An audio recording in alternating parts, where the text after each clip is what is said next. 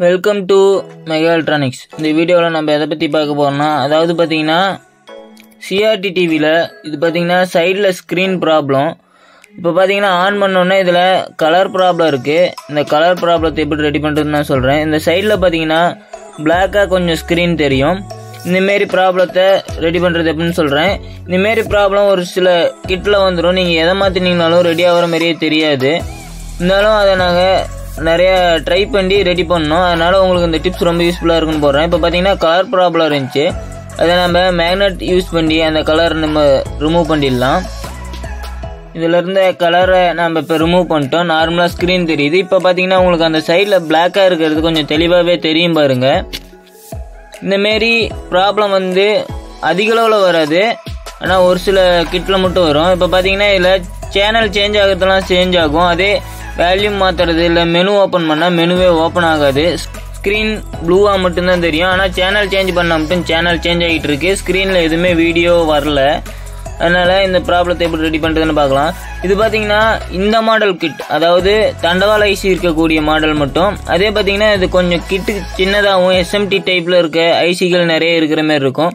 இந்த மாடல் கிட்டில் தான் இந்தமாரி சைடில் பிளாக் வர ப்ராப்ளம் இருக்குது மற்ற கிட்லாம் இந்தமாரி ப்ராப்ளம் வரதில்லை. நம்ம ஒரு சில டைம்ஸ் மெயின் ஐசி ப்ராப்ளம்னு சொல்லி சேஞ்ச் பண்ணுற மாதிரி இருக்கும். அந்தமாரி மாற்றினாலுமே இந்த ப்ராப்ளம் இருக்கும். இந்த மாடல் கிட்டில் மட்டும்தான் இந்தமாரி ப்ராப்ளம் வருது. வேறு மாடல் கிட்டில் இந்தமாரி ப்ராப்ளம் வரல. இதேமாரி கிட் நாங்கள் ரெண்டு மூணு ப்ராப்ளம் ரெடி பண்ணதுனால இது உங்களுக்கு சிம்பிளாக இந்த ஷார்ட்கட் சொல்ல போகிறேன் உங்களுக்கு அதிகமாக எல்லா இடத்தையும் மீட்டரில் நான் செக் பண்ண போகிறதில்ல உங்களுக்கு அந்த ப்ராப்ளமான இடத்த மட்டுமே செக் பண்ணிட்டு சிம்பிளாக அந்த ப்ராப்ளத்தை ஃபைண்ட் அவுட் பண்ண போகிறேன் பார்த்தீங்கன்னா நீங்கள் மல்டிமீட்டரில் டயோட் மோட் வச்சுக்கோங்க. டயோடு வச்சுட்டு இங்கே பார்த்தீங்கன்னா எல் அவுட்டுக்கு பக்கத்தால் உங்களுக்கு ஒரு ஜீனர் இருக்கும் பாருங்கள் இந்த ஜீனர் நீங்கள் செக் பண்ணி பார்த்தீங்கன்னா ப்ராப்ளமாக இருக்கும் நம்ம பார்த்தீங்கன்னா இது ஐசி சைடு ஃபுல்லாக மட்டும்தான் நம்ம சிக்னலில் ப்ராப்ளம் செக் பண்ணிக்கிட்டு இருப்போம். பார்த்தீங்கன்னா இந்த ஜீனர் தான் ப்ராப்ளம் இருக்குது அதாவது பார்த்தீங்கன்னா எல் அவுட் லைன் போகக்கூடிய அந்த லைனை நீங்கள் செக் பண்ணி பார்த்தீங்கன்னா எல்லா இடத்துலையுமே ஷார்ட் காட்டும். அதாவது அதுதான் கம்ப்ளைண்ட் ஆகிருக்கு நம்ம எப்போவுமே சிக்னலில் ப்ராப்ளம்னா மெயினேசி சைடு தான் செக் பண்ணுவோம். ஆனால் நமக்கு பவர் சைடு பக்கத்தில் இருக்க இந்த ஜீனர் கம்ப்ளைண்ட் ஆகிருக்கு இப்போ பார்த்தீங்கன்னா இதுலேருந்து எல் அவுட் லைனை நீங்கள் எந்த லைன் செக் பண்ணிங்கனாலும் உங்களுக்கு பார்த்தீங்கன்னா கம்ப்ளைண்ட்னு காட்டும் பாருங்கள் நமக்கு ஆனால் எல் அவுட்டில் எந்த ப்ராப்ளமும் இருக்காது. இந்த ஒரே ஒரு ஜீனர் ப்ராப்ளம் காட்டினால தான் இந்தமாரி ப்ராப்ளம் காட்டியிருக்கு. இந்த ப்ராப்ளத்துக்கு நாங்கள் மெயின் ஏசிலாம் சேஞ்ச் பண்ணி ட்ரை பண்ணோம். பட் இருந்தாலும் அது ப்ராப்ளம் ரெடி ஆகல. அதிக லெவலில் ட்ரை பண்ணிட்டு தான் அதுக்கப்புறம் நாங்கள் இந்த இடத்துல ப்ராப்ளம் ஆனதை கண்டுபிடிச்சோம். இப்போ சிம்பிளாக உங்களுக்கு இந்த இது யூஸ்ஃபுல்லாக இருக்கும். ஒரு சிலருக்கு அந்த சைடில் பிளாக்காக வர்றது வராது. ஆனால் மெனு ஓப்பன் ஆகாமல் இருக்கும். அந்தமாரி ப்ராப்ளத்துக்கும் இந்த ஜீனர் தான் ப்ராப்ளமாக இருந்திருக்கும். அவங்களும் இதை ட்ரை பண்ணி பார்க்கலாம். இப்போ பார்த்தீங்கன்னா இந்த ஜீனரை நம்ம ரிமூவ் பண்ணிடலாம். நீங்கள் கரெக்டாக ஜீனர் ரிமூவ் பண்ணிட்டு நீங்கள் வேறு ஜீனர் சேஞ்ச் பண்ணும் ஒரு சிலர் ஜீனர் தான் சொல்லிட்டு ரிமூவ் பண்ணிட்டு விட்டுருவீங்க. அந்தமாரி விடக்கூடாது. இது பவர் சைடு இருக்கிறதுனால நீங்கள் சேம் அதே இருக்கக்கூடிய வேல்யூ இருக்கக்கூடிய ஜீனர் சேஞ்ச் பண்ணணும். இப்போ இந்த ஜீனர் எடுத்துட்டோம். இது பார்த்தீங்கன்னா அஞ்சு புள்ளி ஒன் வோல்ட் இருக்கக்கூடிய ஜீனர். நம்ம வேறு ஜீனர் சேஞ்ச் பண்ணிக்கலாம்.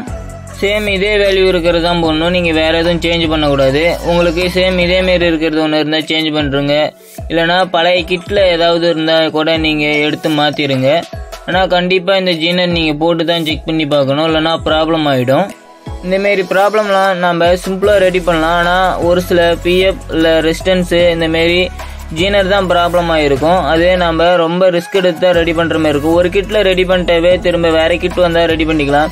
இது அதிக அளவில் எக்ஸ்பீரியன்ஸ் இருக்கிறீங்க அதிகமாக செக் பண்ணிக்கிட்டே இருக்க போது தான் கண்டுபிடிக்க முடியும். நம்ம சிம்பிளாலாம் எதையும் ரெடி பண்ணுற முடியாது. இப்போ பார்த்தீங்கன்னா இந்த ஜீனர் சேஞ்ச் பண்ணிட்டோம். அதை கட் பண்ணிட்டு க்ளீன் பண்ணிடலாம் அந்த இடத்த. ஸ்க்ரீன் உதறது இல்லை ஸ்க்ரீனில் ஏதாவது சின்ன சின்ன ப்ராப்ளம் வருதுன்னா நமக்கு அதிகமாக மெயின் ஏசி இந்தமாரிலாம் கம்ப்ளைண்ட் ஆகாது. ஒரு சில டைம்ஸ் மட்டும்தான் கம்ப்ளைண்ட் ஆகும். நம்ம எல்லா ப்ராப்ளத்துக்கும் மெயின் ஏசியும் சேஞ்ச் பண்ணுற முடியாது.